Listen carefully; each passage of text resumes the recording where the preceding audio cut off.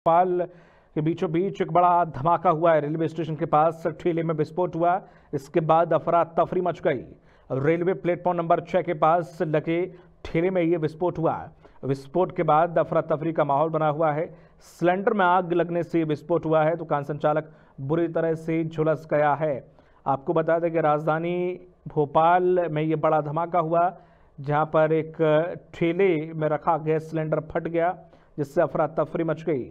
Railway station के platform number छः की यह घटना बताई जा रही है, जहाँ पर प्लेटफॉर्म पर छः नंबर पर एक पास में लगे ठेले में सिलेंडर जो रखा था, उसमें विस्फोट हुआ, जिसके बाद अफरा तफरी मच गई और जो ठेला संचालक था, वो भी बुरी तरह से आग से झुलस गया है। आप ये तस्वीरें देख सकते हैं कितना भीषण ये विस्फोट था कि परखच्चे सिलेंडर के उड़ गए हैं। और परखच्चे उस ठेले के भी उड़ गए हैं। गनीमत ये रही कि इसके नज़दीक ज़्यादा लोग नहीं थे, अन्यथा एक बड़ा हादसा हो सकता था और ये सिलेंडर फटने की वजह से जो इसे ठेले को संचालित कर रहा था, वो घायल हो गया है। संचालक उसे अस्पताल में भर्ती किया गया है और अफरा तफरी का माहौल बन गया है।